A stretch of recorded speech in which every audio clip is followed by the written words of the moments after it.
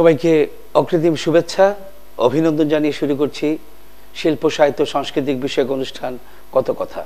অনুষ্ঠানটির media partner রয়েছেন সুন্দরী বিউটি পার্লার আমরা এই অনুষ্ঠানের মধ্য দিয়ে আমাদের এই জেলার শিল্প, সাহিত্য, সাংস্কৃতিক অঙ্গনে যারা কাজ করেছেন বা যারা কাজ করছেন, তাদের কথাগুলো আমরা আপনাদের সামনে তুলে ধরি। তাদের বর্ণাঢ্য জীবন সম্বন্ধে আপনাদেরকে আমরা অবহিত করি এবং এতে আমরা মনে করি আমাদের সাংস্কৃতিক অঙ্গন সম্বন্ধে আমাদের এই প্রজন্ম জানতে পারবে যে আমাদের সাংস্কৃতিক অঙ্গন কতটুকু সমৃদ্ধ আছে বা কতটুকু সমৃদ্ধ ছিল। আজকে গতানুগতিকভাবে আমাদের অনুষ্ঠানে দুজন অতিথি রয়েছেন। আমি তাদের সাথে আপনাদের পরিচয় করিয়ে দিচ্ছি। আমার পাশে রয়েছেন মহান মুক্তিযুদ্ধের অন্যতম বীর সেনানী, ষাটের দশকের ছাত্র আন্দোলনের অন্যতম পুরোধা ব্যক্তিত্ব, সাংস্কৃতিক ব্যক্তিত্ব যিনি বর্তমানে প্রবাস জীবনযাপন করছেন। জনাব শ্রদ্ধাভাজন একে সুজাউল করিম আমার পাশে রয়েছেন। ষাটের দশকের আরেক কর্মী যিনি সেই সময়ের আন্দোলনে বলিষ্ঠ ভূমিকা রেখেছেন। মহান মুক্তিযুদ্ধে অস্ত্র হাতে যুদ্ধ করেছেন। পরবর্তীতে জীবনে তিনি ব্যাংকার হিসেবে কর্মরত ছিলেন। আমাদের সাংস্কৃতিক অঙ্গনে আরেকজন পুরুষ রণধীর রায়। আপনাদের দুজনকেই স্বাগত জানাচ্ছি আমাদের কথা কথা অনুষ্ঠানে। আমরা প্রথমেই জানতে চাই আপনারা দুজন কেমন আছেন? ভালো। ভালো ভালো আছি। ভালো ভালো আছেন। আমরা চাই আপনারা সবাই ভালো থাকেন। আপনাদের এই ভালো থাকা আমাদের আগামী দিনে প্রেরণা যোগাবে। তো প্রথমেই প্রশ্ন করছি সুজাবাইয়ের কাছে। আপনি তো ষাটের দশকের ছাত্র আন্দোলনের অন্যতম পুরোধা ব্যক্তিত্ব ছিলেন। উনসত্তর সত্তরের আষষ্টি উনসত্তর ছাত্রলীগের সাধারণ সম্পাদক ছিলেন। এবং সেই সময় তিনি মুসলিম পরিবার থেকে বেরিয়ে আসা আপনি দুই একজনের মধ্যে হয়তো একজন হবেন যিনি সাংস্কৃতিক অঙ্গনে ভূমিকা রেখেছেন। আমি আপনার কাছে জানতে চাই সেই আষষ্টি উনসত্তর সেই সময়ের সাংস্কৃতিক পরিবেশ কিরূপ ছিল এবং সেই সময়ের আপনার অভিজ্ঞতাটুকু আমি জানতে চাই। ধন্যবাদ। সাংস্কৃতিক অঙ্গন শব্দটা যদি আমরা ব্যবহার করি তাহলে এখানে শিল্প সাহিত্য গান সবকিছু খেলাধুলা থেকে শুরু করে অনেকগুলো বিষয় এখানে চলে আসে। আমি একটা বিষয় যেটা আমি উল্লেখ করব যেখানে আমার সম্পর্ক খুব ঘনিষ্ঠ ছিল সেটা হলো সংগীত। সংগীত। সংগীত। সঙ্গীতে আমার আগমন হঠাৎ করেই বলতে বলতে গেলে সেটা হলো যে উনিশশো ছয়ষট্টি ইংরেজিতে। তখন আমি প্রথম কোনো স্কুলে গিয়ে গান শেখার উৎসাহ উদ্দীপনা পাই। আমার এক বন্ধুর সাথে আমি একদিন বেড়াতে গিয়েছিলাম আর্টস কাউন্সিলে বাবুল ভৌমিক। বর্তমানে প্রবাসী লন্ডনে আছেন। উনি আমাকে দিন নিয়ে গেলেন মৌলিবাজার শিল্পকলা কাউন্সিলে সেখানে গিয়ে মানে বর্তমান শিল্পকলা সেই সময়ের আর্টস কাউন্সিল সে সময়কার সে সময়কার আর্টস কাউন্সিল নামে আমরা এটা পরিচিত পরিচিত ছিল তো ওখানে আমাদের শিক্ষক ছিলেন আলী আকবর খান উস্তাদ আলী আকবর খান নামে উনি সুপরিচিত ছিলেন সমগ্র মৌলিবাজারে। এবং মৌলিবাজারে তৎকালীন সময়ে যারা গান বাজনার সাথে সম্পর্কিত ছিলেন ছেলেরা মেয়েরা উনি সবারই বলতে গেলে উস্তাদ। আচ্ছা। একচ্ছত্রভাবে ওনারই এই অঙ্গনটায় উনি বিরাজ করেছেন। একক আধিপত্য। একক আধিপত্য সেটাও বলতে পারেন। তো সেখানে যাওয়ার পর বাবুল ভৌমিক গান করতেন আমার খুব ঘনিষ্ঠ বন্ধু তার গান ভালোই লাগতো। তো ওখানে যাওয়ার পরে আমার সেই উস্তাদ আমাকে বাধ্য করলেন একটা গান গাওয়ার জন্য। আচ্ছা। আমি তো ভয়ে কম্পমান। আমার জীবনে আমি কখনো মানুষের সামনে এইভাবে গান করি নাই। যাই হোক, বাধ্য হয়ে গান, তৎকালীন গুনগুনি আমরা সবাই গান টান করতাম, এই ধরনের একটা কিছু শুরু করলাম। সে গানটা ছিল মনোরে ভবন নাট্যশালায় মানুষ চেনা দেয়, আব্দুল জব্বারের গাওয়া। তৎকালীন সময়ের একটা শ্রেষ্ঠ সংগীত বলতে পারেন। এই গান গাওয়ার পর উনি আমাকে বিপুল, ভীষণভাবে উৎসাহিত করলেন। গান গাওয়ার জন্য উনি গান আমাকে শেখাবেন। আর্টস কাউন্সিলে প্রতিদিন যাওয়ার জন্য গান উনি আমাকে শিখাবেন। তো সেখান থেকে আমার প্রথম উৎসাহ। তারও আগে যদি আমি বলতে চাই যে সরাসরি কোনো একাডেমি বা কোনো আর্টস কাউন্সিলের যাওয়ার আগে প্রেরণাটা পাই সেটা আমার বাবার কাছ থেকে। আপনার বাবা- কি মানে গানের সাথে সম্পৃক্ত ছিলেন না গান ভালো গানের সাথে কোনো সম্পর্ক ওনার ছিল না কিন্তু উনি খুব ভালো গান করতেন। গান গাইতেন? গান গাইতেন আপন মনে। আচ্ছা আচ্ছা। আপন মনে। বিছানায় শুয়ে শুয়ে গান গাইতেন আমি ঘুমিয়ে পড়তাম। আমার বয়স তখন সাত আট এই ধরনের। সেই গানগুলো আপনার হৃদয়ে মানে আপনার কানে লেগেছে কোনো না প্রা- প্রাণে স্পন্দন দিয়েছে সেটাই বলা কোনো না কোনো ভাবে অজান্তে মনের অজান্তে এটা গীতে ছিল আমার ভিতরে। এবং এটাই বহিঃপ্রকাশ হয়তো কখনো। শেষ দিকে আলী আকবর খানের পরশে গিয়ে এটাকে আমি আরও তার মানে আপনি এটা বলতে পারেন যে আপনার আপনার একদম যখন আপনি শিশু ছিলেন আপনার বাবার গান শুনে শুনে আপনার সময়টা পার হয়েছে। তারপরে আলী আকবর খানের সাথে আপনি ওনার সাথে সংস্পর্শে এসে গানের সাথে সম্পৃক্ত হলেন। তো আমি জানতে চাই আপনারা তো তখন তো ছাত্র আন্দোলন করতেন সাংস্কৃতিক আন্দোলনে ছিলেন। আপনি আমি শুনেছি আপনি সেই সময় নাকি সরকারি মহাবিদ্যালয় সেখানে নাকি সাংস্কৃতিক প্রতিযোগিতা হতো গানের প্রতিযোগিতা এইগুলো হতো। ওটা একটু আমার জীবনে একটা হ্যাঁ, একটা গুরুত্বপূর্ণ বা একটা প্রধান দিন যেটাকে আমি কখনো ভুলবো না আজও আজও ভুলবো না হয়তো জীবনের শেষ দিন পর্যন্ত মনে আমার থাকবে। দিনটা হলো সেই তখন আমরা কিছুটা গান বাজনা আমি শিখে ফেলেছি। মানে কিছুটা গান বাজনা আমরা করি হারমোনিয়াম তখন আমি বাজাতে পারতাম না। আচ্ছা। ওই সংগীত প্রতিযোগিতায় তখন কলেজ সংসদ সংগীত প্রতিযোগিতার আয়োজন করেন। কলেজ- সংসদ? কলেজ সংসদ। সংসদ। কলেজ সংসদে ভিপি কে ছিলেন? তখন কলেজ সংসদে ভিপি কে ছিলেন ওনার নাম থেকে আমি বলতে খুব সম্ভবত শফকতুল ওয়াহেদ আচ্ছা আচ্ছা। খুব সম্ভবত। আমি তার মানে সেই সময় কলেজে সাংস্কৃতিক চর্চা হতো এইটা আমরা বলতে পারি। অবশ্যই। মৌলিক শুধু কলেজ নয় মহাবিদ্যালয় নয় পুরো মৌলিকবাজারে যে সাংস্কৃতিক অবস্থান আমি লক্ষ্য করেছি ছোটবেলা থেকে আপনি যদি সামগ্রিক মৌলিকবাজারের কথা বলেন তাহলে নবারুণ সংঘের কথা বলতে হবে। তারা তো নাটক টাটক এইগুলা নিয়ে ব্যস্ত নাটকের একটা দিক এটা একটা বড় দিক।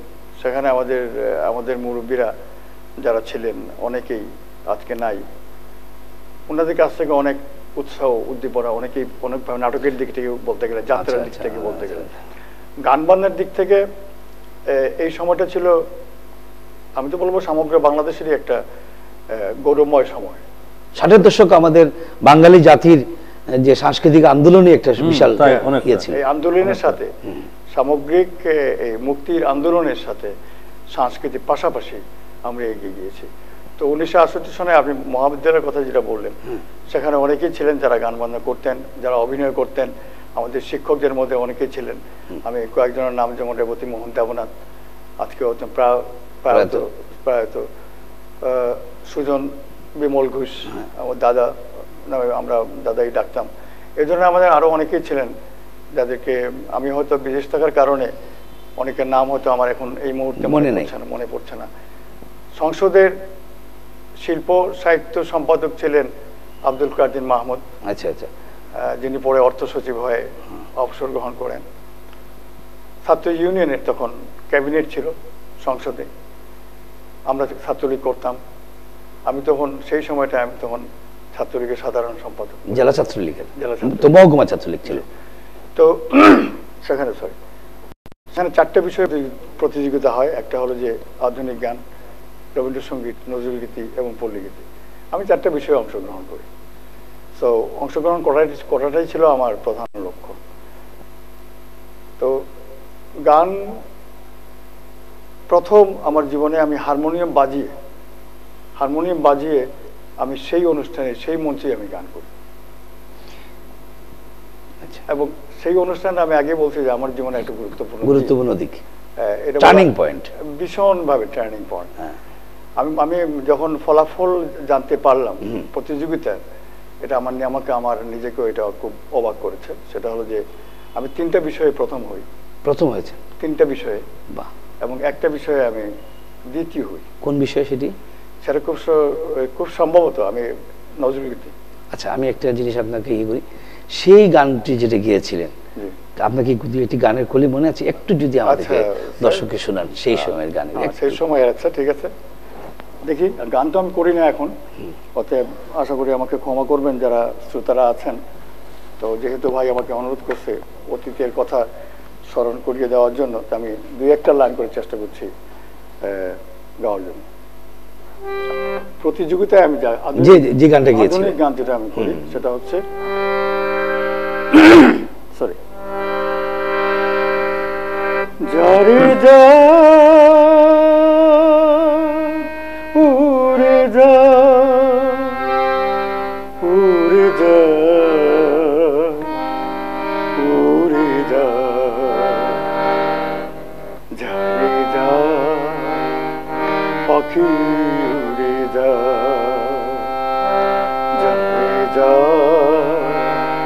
পাখি উড়ে যা।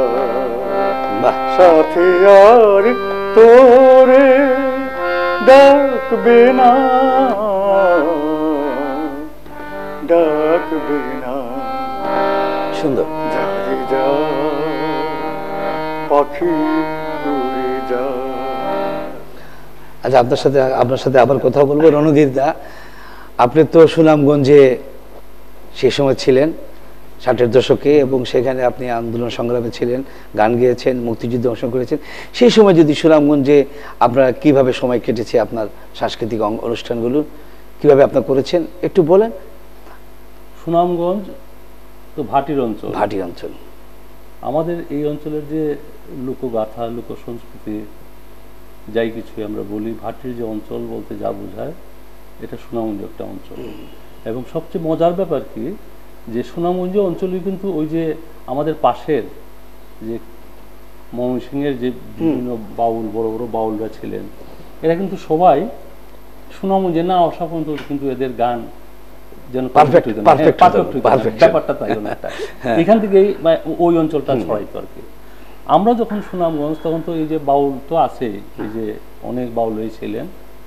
নাম না জানা অনেক বাউল এই যে উকিল মুন্সি টুকুল মুন্সি তারপরে উকিল মুন্সি কি সুনামগঞ্জে? হ্যাঁ সুনামগঞ্জে। আমার মামার বাড়িতে ঘাটে উনি বসা সাত আট দিন বসা। ওনারে বসাইয়া আমার মামা লোক পাঠাইছে অন্য গায়ক আনার জন্য। আচ্ছা, আচ্ছা, আচ্ছা। অন্য গায়ক গিয়া পাইছে না ওরা ধরে লই- আইছে উকিল মুন্সির ছেলেকে। এটা বিরাট মজা উকিল মুন্সি বাড়িতে হচ্ছে মামা সিং হেমন্ত সিং কিন্তু সুনামগঞ্জে আসা যাওয়া এই যে তাহিরপুর তাহিরপুর, তাহিরপুর হ্যাঁ। এইসব আচ্ছা, আচ্ছা। আর সুনামগঞ্জ প্রফারে তখন সুনামগঞ্জ প্রফারে না শুধু টোটাল সুনামগঞ্জ মহকুমার তাহিরপুর ধরমপাশা দিরাই সাল্লা।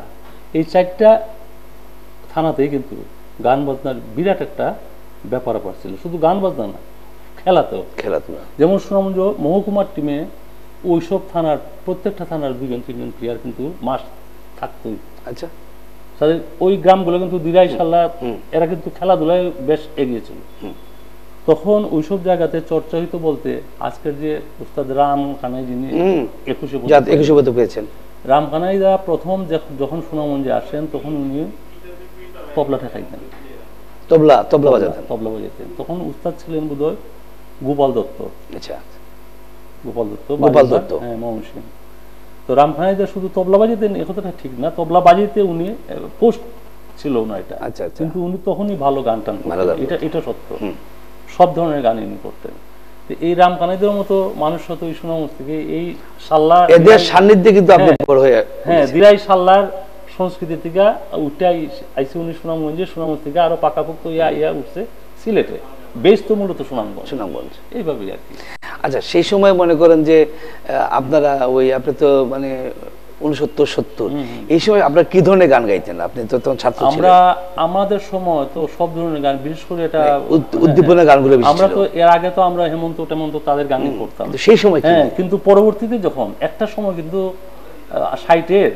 পঁয়ষট্টি থেকে মোস্ট প্রবলেম যখন ইন্ডিয়ান গান এই দেশে ব্যান্ড হয়ে গেল তখন এই দেশে আমাদের কিছু ভালো ভালো টোন ছিলেন কিন্তু ওই যে একটু আগে সুজাবে বলল যে ওই গানটা ছিল আব্দুল জব্বারের। আব্দুল জব্বার হাদি দাদা, আপনার সাথে আপনার সাথে আরও কথা বলব। একটু বিজ্ঞাপন প্রতি সময় হয়েছে, একটু আমি সময়টা নিয়ে আবার আসছি আপনার দর্শক মন্ডলী এতক্ষণ আপনারা সুন্দরী বিউটি পার্লারের সৌজন্যে দেখছেন কত কথা। ছোট্ট বিজ্ঞাপন বিরতি, ফিরে আসছি। ততক্ষণ আমাদের সাথেই থাকবেন। আপনারা দেখছেন শিল্প ও সাহিত্য বিষয় নিয়ে টক শো কত কথা। পরিবেশিত হচ্ছে সুন্দরী বিউটি পার্লারের সৌজন্যে। দর্শক মন্ডলী বিজ্ঞাপন বিরতির পর আবার ফিরে এলাম আমাদের মূল অনুষ্ঠানে। কথা বলছিলাম রণদীদা আপনার সাথে। আপনি যেটা বলছিলেন যে সুনামগঞ্জ ছিল সেই সময় সাংস্কৃতিক অঙ্গনের একটা পীঠস্থান বলা যায় এবং টোটাল ময়মনসিংহ এই অঞ্চলের যারাই ভালো গান গাইতেন তারা সুনামগঞ্জে না আসলে সেটা মানে পূর্ণতা পেত না। তো আমি সেই সময় একটি গান শুনতে চাই আপনার কাছে সেই সময় আপনি যে গানগুলো গাইতেন ষাটের দশকের শেষ সময় একটি গান যদি দুই লাইন আমাদের শোনান।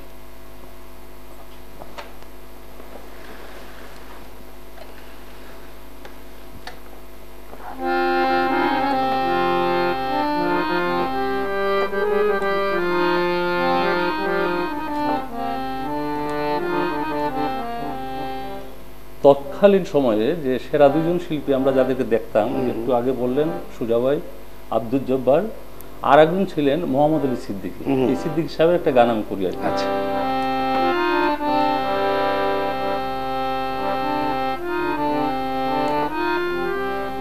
বাঁশি বাজে ওই দূরে চেনা কি চেনা সুরে এলো বনে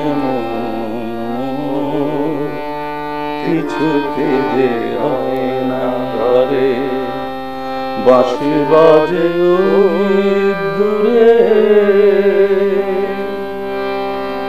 ভোলা মনু ভুলে গেল কদম তলির বাকে। ডাহুকিয়া কাঁদে তামালির সাথে ও তার সাথী হারা বেদনাতে হৃদয় ঝর ঝরে বাঁশি বাজে ওই দূরে, চেনা কিয়া চেনা সুরে, এলো বনে মন কিছুতে যে রয় না। ঘরে বাঁশি বাজে দূরে। ধন্যবাদ, দাদা। আচ্ছা সুজয় ভাই, আপনার কাছে আবার ফিরে আসছি। আমরা আসলে কথা শুনতে গেলে অনেক সময় লাগবে, গান শুনতে সময় লাগবে, কিন্তু আমাদের হাতে সময়, জানেন অনুষ্ঠানে একটি নির্দিষ্ট সময় আছে। আপনি উনসত্তরের পরে কিন্তু আপনি একাত্তরে মহান মুক্তিযুদ্ধে আপনি অংশগ্রহণ করলেন।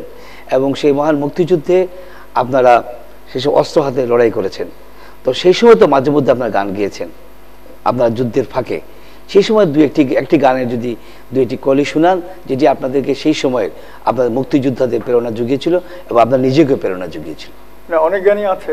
এখন মুক্তিযুদ্ধের কথা এটা তো একটা বিরাট আমরা সেটা শুনতে চাচ্ছি না। সেই সময় গানের হ্যাঁ একটি গান সেই গান যেটি যেমন মানুষকে চেতনায় উদ্বুদ্ধ করার জন্য অনেক গানই করেছি। কবি দেলওয়ার আমাদের সিলেটের কবি দেলওয়ার ওনার দুই একটা গানের কথা আমার এখন মনে পড়ছে। সেই সময় আপনারা গিয়েছেন? হ্যাঁ আমরা যেমন শহীদ দিবস দিবস ভাষা আন্দোলনের উপরে। আমি- জানতে চাচ্ছি যে মহান মুক্তিযুদ্ধের ফাঁকে ফাঁকে আপনি তো অস্ত্র হাতে লড়াই করেছেন হ্যাঁ। কিন্তু ফাঁকে ফাঁকে তো গান গিয়েছেন। হ্যাঁ, যেহেতু আপনি গানের লোক। কি গানটি তখন গাইতে কোন গানটি আপনাকে প্রেরণা দেখে দেখে আমি পারি কিনা।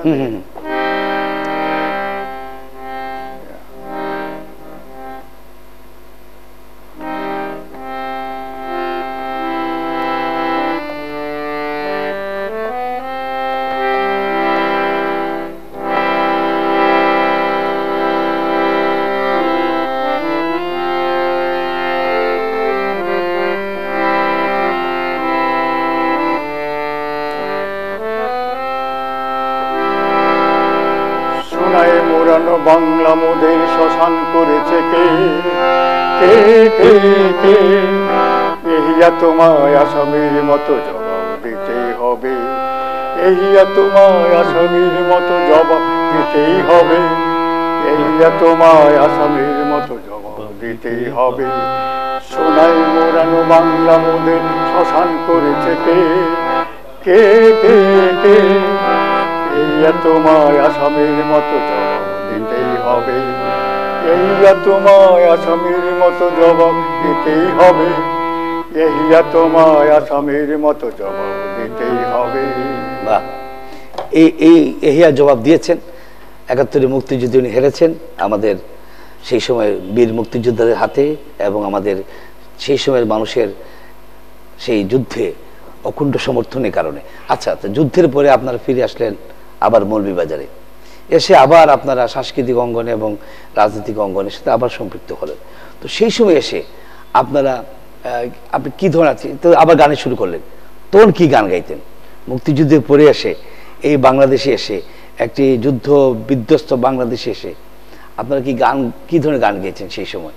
এবং কি চেয়েছিলেন মুক্তিযুদ্ধের সময়? কি পেলেন আসলে এটা বলতে চাই মানে বিশাল ব্যাপার কি গান গিয়েছেন? আমি গানের দিয়ে থাকতে চাই। এখানে আমি যদি বলতে চাই তাহলে কিছু মানুষকে আমার স্মরণ করা দরকার। তাদের নাম না বললেও এটা হয় না যে সংস্কৃতি সামগ্রিক সামগ্রিক বিষয়। সামগ্রিক একটা সামগ্রিক বিষয়। এবং সামগ্রিক বিষয় একা একজন লোক হয় না। এটা সমষ্টির ব্যাপার। সমষ্টি বিষয়। সৃষ্টিশীল সৃষ্টিশীলতা এগুলো সমষ্টি ছাড়া হয় না। হয় না। তো সেই সময়কে আমার কিছু বন্ধু বান্ধব যাদের সাথে আমরা একসাথে গান করেছি আমি যেমন আজকে আমাদের দুর্গা দাস আজকে নাই। নাই। আলী আকবর খান সাহেবের কথা তো বললাম মুস্তা আলী আকবর খান এটা বলা দরকার। জহুর আহমদ আমাদের মধ্যে- নাই। সবচেয়ে প্রিয় আমার যে লোকটা ছিলেন তিনি আমাদের সাথে তবলা বাজাতেন। এবং আমাকে দেখলে চমুনায় যেখানেই হোক বাবাজি কেমন আছো? এভাবে। সে হচ্ছেন আমাদের তৎকালীন সময়ে মৌলিবাজারের আমাদের সময়কার একমাত্র তবলছি লনিলি দে। আমি। খুব শ্রদ্ধার সাথে তাকে আজকে স্মরণ করছি। তো স্বাধীনতার পরে দিক পরিবর্তন এবং সমাজ সংস্কার নিয়ে বিভিন্ন ধরনের কাজ চলেছে। কাজ চলেছে রাজনৈতিকভাবে। আমরা চাই এটা চেয়েছিলাম আমরা যে একটা স্বপ্ন নিয়ে দেশ স্বাধীন করেছি। এটা উন্নত সমৃদ্ধ সমাজ গড়ার জন্য এবং সেই পরিবর্তনের জন্য কি ধরনের পরিবর্তন হওয়া দরকার? পরিবর্তনের সাথে যেমন আজকে আমাদের সাহিত্যের কথা এখানে আসবে। নজরুলের কথা আসবে রবীন্দ্রনাথের কথা আসবে সুখান্তের কথা আসবে। আসবে তাই না? তো সে পরিবর্তনের ব্যাপারে সুখান্তের অনেকগুলো সুন্দর সুন্দর গান ছিল। দারুণ দারুণ তো ওখানে কিছু গান আছে যেগুলো আমরা সেই সময় গাইতেন। গাইতাম। আচ্ছা। একটি গান একটু দুই লাইন শুনুন। মনে আছে কিনা? আসলে আমি কথা বলতে চাচ্ছি না। আমি যে গানের মধ্য দিয়ে আমরা কথাগুলোকে দর্শকের সামনে তুলে দেবো. দর্শক তো সবসময় কথা শুনে।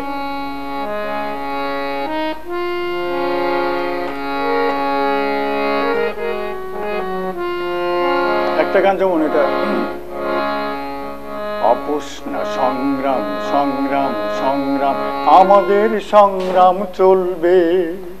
আপোষ না সংগ্রাম সংগ্রাম সংগ্রাম। আমাদের সংগ্রাম চলবে।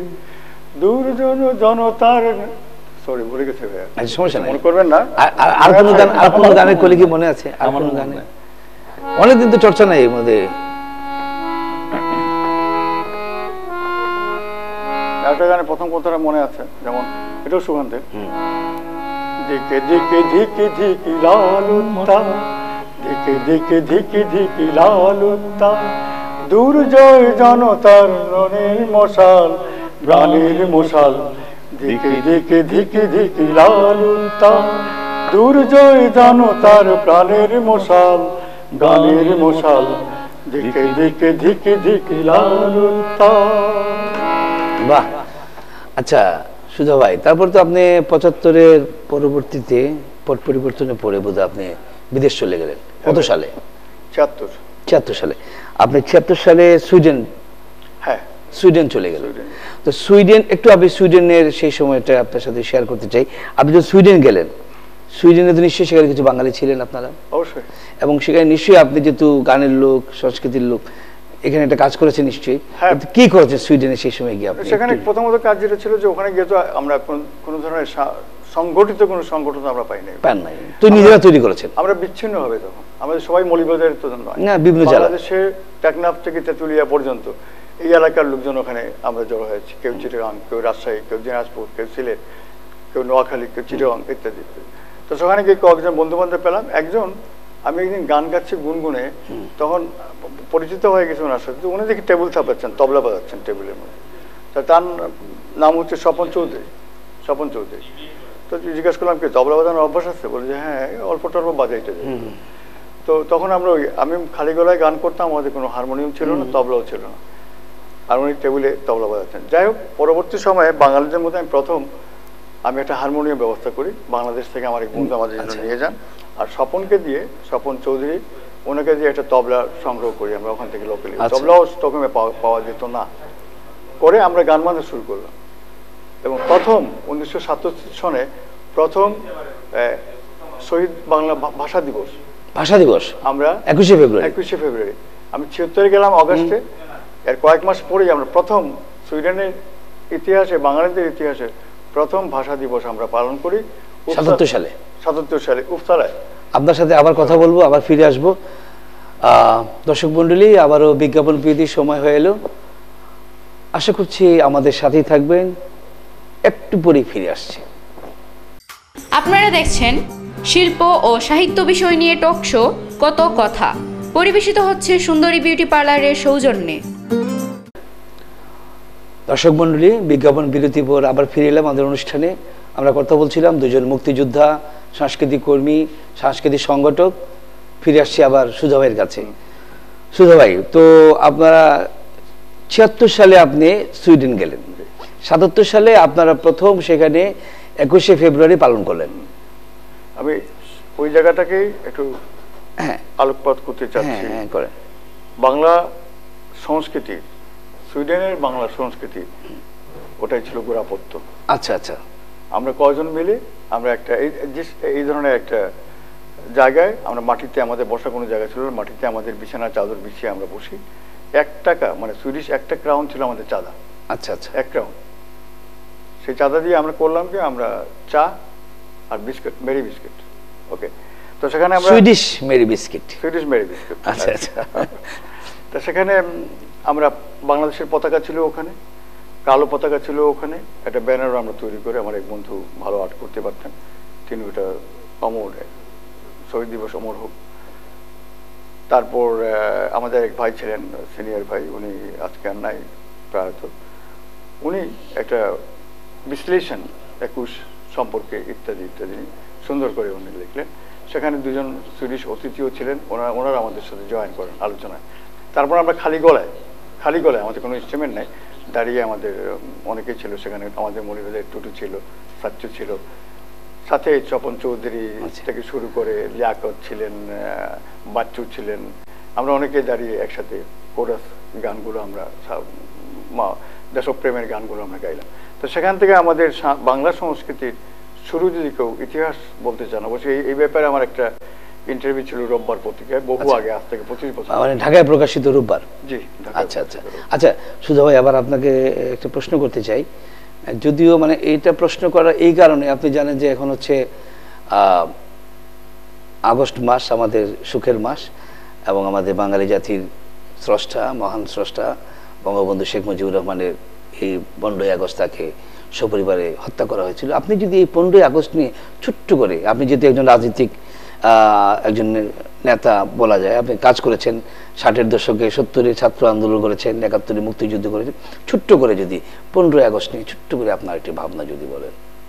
আর ভাবনা মানে ওদিনকার কথা যদি বলতে হয় তাহলে এইভাবে বলতে হয় পনেরোই আগস্ট রাত আমি শুয়েছিলাম আমার খুব ঘনিষ্ঠ বন্ধু তখন যুবলীগের সেক্রেটারি সৈয়দ সিদ্দিকুর হাসানের বাসায়। আচ্ছা আচ্ছা। তো পনেরোই আগস্ট ভোরে হঠাৎ দেখি যে খুব সকালে আমাদের বাসায় এসে একজন নক করছেন। তখন আচ্ছা। হারিসুল্লাহ কলোনি নামে হ্যাঁ, এটা কলোনি হ্যাঁ। এখনও এখনও আছে।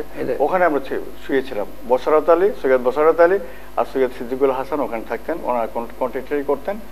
এবং একই সাথে সৈয়দ সিদ্দিকুল হাসান ছিলেন যুবলীগের জেনারেল সেক্রেটারি। আচ্ছা। ওকে?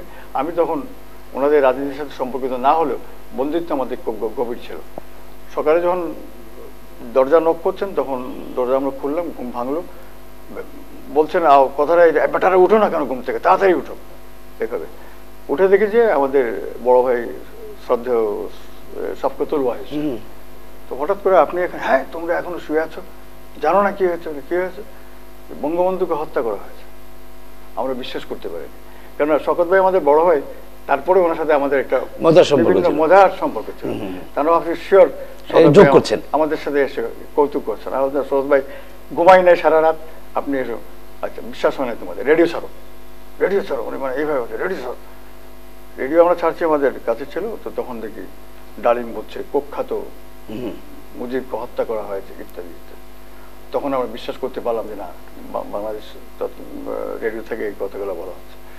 তাড়াতাড়ি করে কাপড় টাপড় পরে শহর থেকে বেরিয়ে পড়লাম। আমরা তখন আর শহরে নাই আমি শহরে কি হয়েছে জানি না কিছু হয় নাই হয়তো সেদিন। আমি বেরিয়ে গেলাম আমার খালার বাসায় শাহবন্দরে সেখানে গিয়ে দেখলাম আমার খালা নামাজ পড়তেছেন। তখন নামাজের কোনো সময় নেই। সময় ছিল না। কোনো ওয়াক্ত ওয়াক্ত ছিল না নামাজ পড়ার। তেমন কী ব্যাপার খালা, তুমি ও সময় নামাজ পড়ছো? আমার খালা আমাকে বলল, খালা বসে নাই, মারা গেছেন। এই কথাগুলো আমার খুব দাগ কাটে আমার মনের মধ্যে। আমাকে বলে যে, দেখো হ্যাঁ আমি দুই রাখাত নফল নামাজ পড়ল তাই নাকি বলে হ্যাঁ। বলে, আজকে তো আমাদের নে- নেতা মারা গেছে আমাদের লিডার মারা গেছে বঙ্গবন্ধুকে হত্যা করা হয়েছে। তো ওনার উদ্দেশ্যে আমি দুই রাখাত নামাজ পড়লাম আচ্ছা আচ্ছা। তো ওই দিনকার কথা এটাই তখন আমরা ওখানে আমরা ওই বাড়িতে ছিলাম। পালিয়ে বলতে পারেন শহর ছেড়ে আমরা ভয় ছিল যে কি হয় না হয়। হয় না হয় আমরা জানি রাজনীতির পরিস্থিতি কি হচ্ছে। যেহেতু আপনি রাজনীতির সাথে সম্পৃক্ত ছিলেন। কিন্তু একটি কথা আপনাদেরকে যেটি বোঝা যায় সেটি হচ্ছে যে বঙ্গবন্ধুর প্রতি মানুষের কি অগাধ ভালোবাসা ছিল? যে একজন মহিলা তিনি নামাজ পড়ছেন ওনার মাগফেরাত মাগফেরাত কামনার জন্য যে মনে করলে বলব যে উনি কোনো রাজনীতির সাথে জড়িত কিন্তু বঙ্গবন্ধুকে উনি ভালোবাসতেন। সেটি নফল নামাজ পড়ছেন নফল মাছ পড়তে। আচ্ছা দাদা আপনার সাথে আসলে ব্যাপারটা হচ্ছে যে আপনারা দুজন এত মানে মহা সমুদ্রে দুজন আমি স্নান করছি আমি মানে কুলে উঠতে পারছি না কি করব না করব? আপনার সাথে যেটা বলতে যে আপনি আবার স্বাধীনতা পরবর্তীতে আপনি তো চাকরি যে জয়েন করলেন তো সেই সময় আপনি সেই সময় দুই একটি গান গান। কি গান গাইতেন সেই সময়? যেহেতু গানের মানুষ আপনি। আমি তো বাহাত্তরের প্রথম রেডিও আপনি বোধহয় সিলেট বেতারের হ্যাঁ, নিয়মিত শিল্পী ছিলেন। বাহাত্তর থেকে বাহাত্তর হ্যাঁ। তখন কিন্তু ঠিক সুজাবাইর যে অবস্থা আমার কিন্তু আমি কিন্তু হারমোনিয়াম বাজার শিখছি আচ্ছা, আচ্ছা। অনেক পরে। আচ্ছা। এবং সেটা মৌলবাজার আসার পরে আমি নিজে নিজে বাসায় চর্চা করে শিখছি। আচ্ছা কিন্তু আচ্ছা। রেডিওতে তখন গান ঠিকই করতাম কিন্তু ইনস্ট্রুমেন্ট আমি বাজাইতাম দুটি লাইন নজরুলগীতি করতাম আর কি তখন আমি। হ্যাঁ দুটি লাইন আসলে গানে গানে প্রোগ্রামটা চাচ্ছিলাম কিন্তু কথা তো চলে আসে।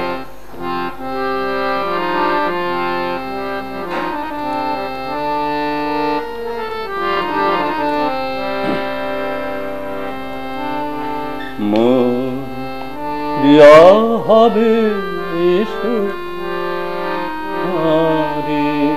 দেব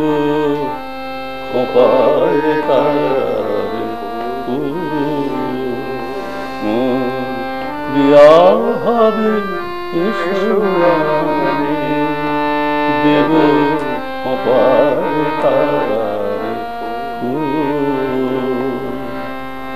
কর্ণে দোলাব তৃতীয় চৈতি চাঁদের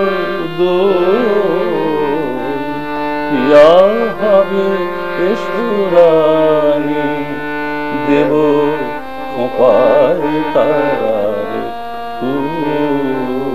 অসাধারণ। আচ্ছা মানে আধুনিক গানের তো গাইতেন নিশ্চয়ই। হ্যাঁ আধুনিক করতাম দুটি লাইন একটা আধুনিক গানের দুটি লাইন। দুটি লাইন।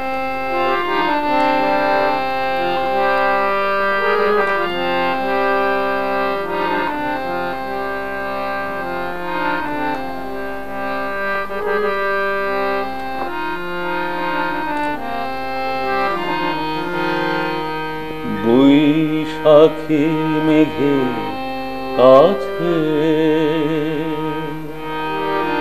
জল চেয়ে তুমি কাঁদবে, আমি চাই না তুমি কাঁদবে, আমি চাই না। শুধু স্বপ্নকে সত্যি কাঁদবে আমি চাই না তুমি কাঁদবে আমি চাই না। দাদা ধন্যবাদ। আরও শুনব সময় পেলে? আসলে পুরো গানটি শুনতে ইচ্ছে করছে এত ভালো গান। না প্রাণ স্পর্শ কিন্তু আমাদের সময় তো না, আচ্ছা এবার সুজা ভাই আপনার কাছে যাচ্ছি। ব্যাপারটা হচ্ছে যে আমি জানি আপনার সাথে কথা বললে আপনি অনেকক্ষণ কথা বলতে পারবেন। যেহেতু আপনি এই জেলার শিল্প, সাহিত্য, সংস্কৃতি, রাজনীতি প্রতিটি পরতে পরতে আপনার স্বাধীনতার আগে এবং পরে, বিশেষ করে পঁচাত্তরে পট পরিবর্তন পর্যন্ত একটা আপনার বিশাল ভূমিকা ছিল। কিন্তু আপনি যে সংগীত শিল্পী, আপনি যে গান গান বা সংস্কৃতির একজন অংশ, সেটা কিন্তু নতুন প্রজন্ম বা আপনি যে একসময় রাজনীতি করতেন, একসময় এই যে ছাত্রলীগের আষট্টি উনসত্তর আপনি সেক্রেটারি ছিলেন সেটা অনেকেই কিন্তু জানে না। কিন্তু এই প্রোগ্রামের মধ্য দিয়ে অনেকেই সেটি জানবে। কিন্তু আমি আপনাকে পরিচিত করতে চাই শিল্পী হিসেবে একজন সাংস্কৃতিক কর্মী হিসাবে। আমি আপনার কাছে আপনি দুটি গান শুনতে চাই যে গানগুলো আপনার তো বয়স অনেক হয়ে গেছে কিন্তু এখনও আপনাকে নাড়া দেয়। আপনাকে মনে হয় যে এই গানগুলো আছে বলে আপনি বেঁচে আছেন। এই ধরনের দুই একটি গানের মাতৃভূমি ছেড়ে যাওয়া যেটাকে বলা হয় যে আপনার মা এবং মাতৃভূমি। স্বর্গের চাইতে উত্তম। উত্তম। তো এই কথাগুলো তখন ভাবতাম যে মনে হয় ছোটবেলার কথা যখন জ্ঞান পরিপূর্ণ হয়নি। যে কথাগুলো শুধু তত্ত্বই মনে হয় মনে হয় বইটাকে বই বইয়ের মধ্যে কেউ লিখে গেছে। এটা যে সত্য এটা যে অনুভূতিতে আঘাত করে এটা যদি বাইরে না যেতাম দেশের বাইরে না যেতাম তাহলে এটা আমি অনুভব করতে পারতাম না যে মা এবং জন্মভূমি মা স্বর্গের চাইতে উত্তম। যাই হোক এটা একটা কারণ বিচ্ছিন্নতার এই যে একচল্লিশ বছরের প্রবাস জীবন হ্যাঁ, হ্যাঁ, হ্যাঁ। আমাকে এখান থেকে বিচ্ছিন্ন করেছে। দ্বিতীয় প্রশ্নের কথা আপনি বলছেন দুটি গান। আমি একটা গান এখন করব সেটা হচ্ছে যে একটা ফক সং ওটা ফক সংটা হচ্ছে এজন্য করব যে গানের সাথে আমি খুব বেশি সম্পর্কিত। আমি কোথাও কোনো মঞ্চে এখনও আহ, মৌলভীবাজারের কোনো মঞ্চে যদি আমি দাঁড়াই তা আমার তৎকালীন সময় যারা বন্ধু বান্ধব সুজা তুমি ওই গানটা করো। আমার ময়না পাখি।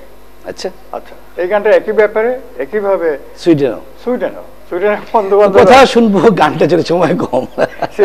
আসলে ইচ্ছে করতে সময়টা যদি দুই ঘণ্টা তিন ঘণ্টা হতো। এবং আপনাদেরকে আরেকটা বা আপনাকে আরেকটা ইনফরমেশন দিয়ে রাখি যে এই হ্যাঁ। গানটাকে আমি পল্লিগীতিতে প্রথম হয়েছিলাম ওই প্রতিযোগিতা ওই ওই যে কলেজে। কলেজে। কলেজে হ্যাঁ।